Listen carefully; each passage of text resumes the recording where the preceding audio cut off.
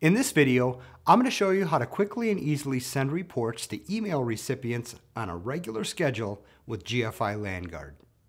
All GFI LanGuard reports can be scheduled to be generated on a regular basis and to be automatically saved on the disk in a specified location or sent to an email recipient. Go to the Reports section and select New Scheduled Report. You can specify the report to be generated, define the computers you want to run the reports for. And if you have previously defined a filter here, you can use it to include the computers that meet specific criteria in the report. For example, my report will run for the entire network, but will include only computers with high vulnerability levels.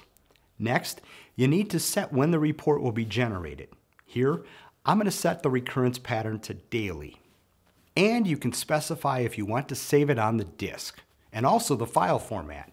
By default, PDF is used, but HTML, XLS, RTF, PNG are also supported.